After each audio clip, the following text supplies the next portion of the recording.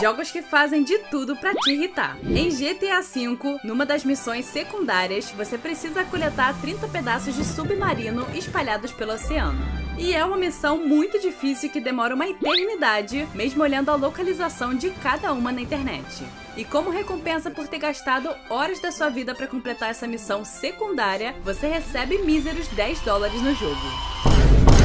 Borderlands 2 tem a arma que faz o barulho mais irritante de todos. A submetralhadora Bane é uma das mais poderosas do jogo. Só que o problema é que toda vez que você atira com ela... E o pior é que o barulho não para nem tirando os sons do jogo. Em Lisa the Painful, você encontra uma montanha com uma corda e uma placa dizendo que tem uma coisa muito importante no topo. Se você tiver paciência e resolver gastar um bom tempo subindo, você encontra isso aqui. Sim.